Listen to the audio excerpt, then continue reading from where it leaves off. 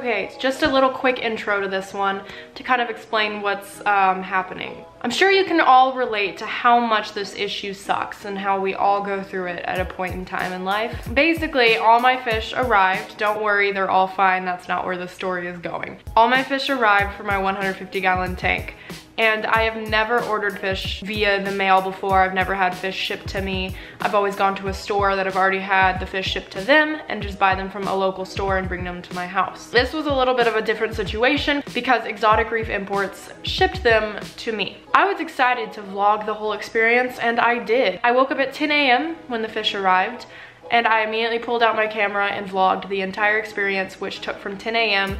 to about 10 to 11 p.m. Of course, I did have to run some errands in between to get a few extra things that I didn't have on hand, but I vlogged it all. So it wasn't like I was just sitting there for 10 hours doing the same thing.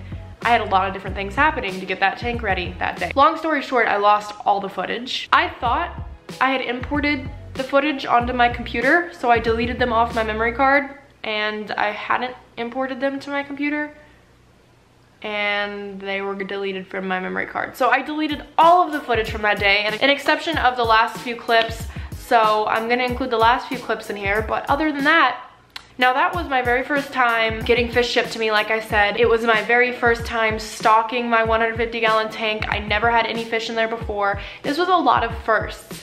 So I still want that experience to be vlogged. I still want it here for you guys to see. So how do I do that without uh, actually having the footage? I, uh, I, um, I recreate it. Okay, good morning guys. It is one, I mean, wait, that's not when I got my fish. 10 o'clock a.m. as you can tell. I just got a FedEx notification or UPS or whatever it was that my fish are on the front porch. So let's go check them out. Oh, they're right here. Let's bring just one box. I don't need the other box of fish. I'm so excited to open this. Look, live tropical fish. My name is on it. As you can see, they were wrapped in a black bag so they don't get stressed. The darkness helps them stay calm during traveling. And um, that one looks dead. That's just one, you know? I ordered seven, so... Okay, I swear, I don't know why they all are just gravitating towards their back. This one too, okay. Just needs a good shake, maybe. There we go. Now he's up, what a good fish. Okay, so as you can clearly see, we have all seven fish that I ordered here. Basically now we're gonna acclimate the fish. I always recommend doing this for saltwater fish, especially if you're getting them from a place that, that doesn't keep their water parameters the same as you do. Then you wanna slowly acclimate them. You don't wanna just throw them in the tank and put them into shock because things like the salinity and the pH specifically can really put them into shock if it's different from the bag that they're in right now. So you want to slowly do this. And this is really important for the more sensitive species. When it comes to clownfish and things like that, you can float them in the tank until the temperature levels out and then add a little bit of your water to the bag and then release them after about 10 minutes. That's good enough for the less sensitive species, but when you're doing fish like tangs and wrasses and angelfish, boxfish, etc., you're gonna wanna do the drip acclimation system. So let me show you how to do that for all of these good fish. So basically what you're gonna do first is take your fish and put it in a bucket. Now the important thing to do is when you're going to release the fish into the bucket, you wanna put the water slowly in to the point where when the fish goes in, it has enough water to be fully submerged. So if a bucket this deep is going to be too deep to fully submerge your fish, get a smaller bucket. Don't make them flop around in the bottom of the water, okay? One, hopefully your fish bag won't be tied with a hair tie. And two, hopefully your fish, your saltwater fish won't be from Petco. But uh, I'm sorry, I'm sorry, I'm sorry, Petschmo. Well, I'm just gonna rip a hole in the side and then we're gonna slowly release the water.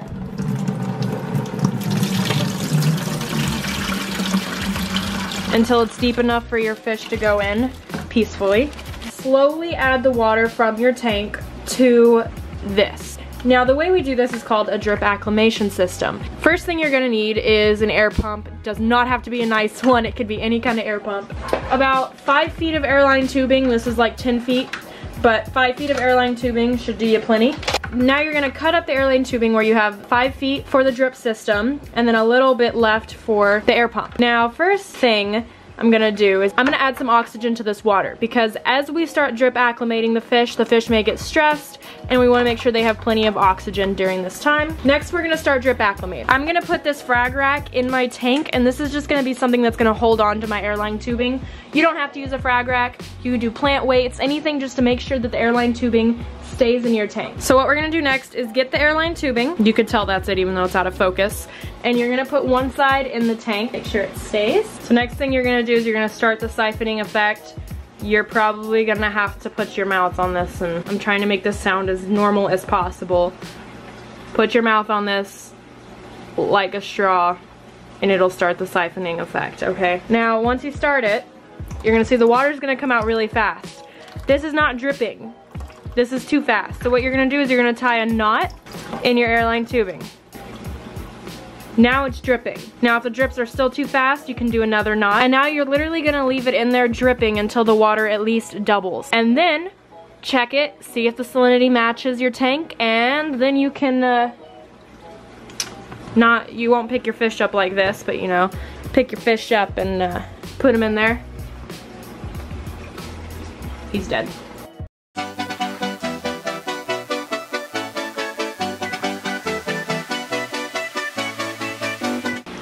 So in here we have a bristletooth Kole tang. These are one of the hardier tangs. They don't tend to get ick as much. Oh my god, I'm just now noticing that this really big fish bag is not only blacked out, but it is wrapped in duct tape.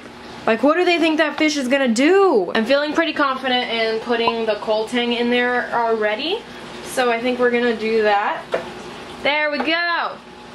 Are you okay? That freaked her out, or him out. I don't know why I automatically assumed it was a girl. And she did not like being moved.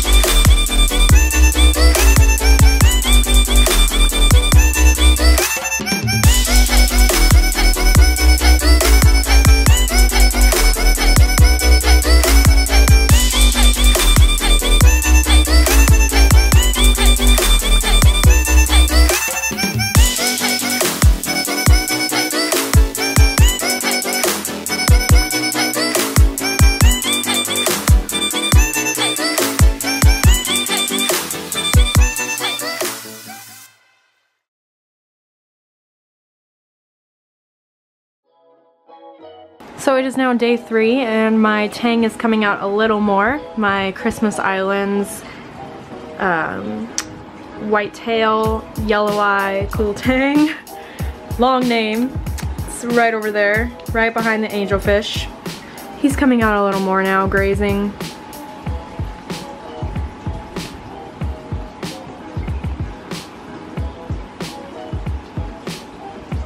So that was my really weird footage for the day. I hope you guys enjoyed seeing all my fish for, you know, finally. And if you don't know yet, there is Nala merchandise. I'm trying to individually thank every single person that tells me that they buy my merch, but I mean, it's hard, so I'm sorry if I missed you. I'm sorry if I didn't tell you thank you, but thank you. I had a video that came out a few days ago about it, me wearing my little Nala pocket tee in it, and then, of course, the phone case. Can you see it? It says you can do it. You can do it. Thank you to everyone who's checked out the merch, who's gotten merch. It's still available for about 10 more days, so please check it out if you haven't yet. If you wanna get some Nala merch, it is out there, like I said, for about 10 more days. So I'll put the link in the description and please check it out and just thank you. If you wanna watch a video in the meantime with me in it, you can check out, I can't talk talk ever. I need to go to like speech therapy. I swear I can't talk and that is not an insult to people who need speech therapy. I'm saying I really need it.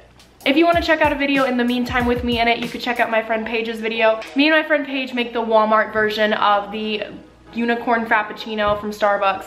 So it was a really fun video. I had so much fun with her. It's in the description and I'm gonna put it the link at the end of this too. So yeah, that's something for you guys to watch if you'd like. And thank you guys so much for watching and you'll see me next time. I've been doing YouTube now for like seven months and I still don't know how to end my videos. Go buy my merch.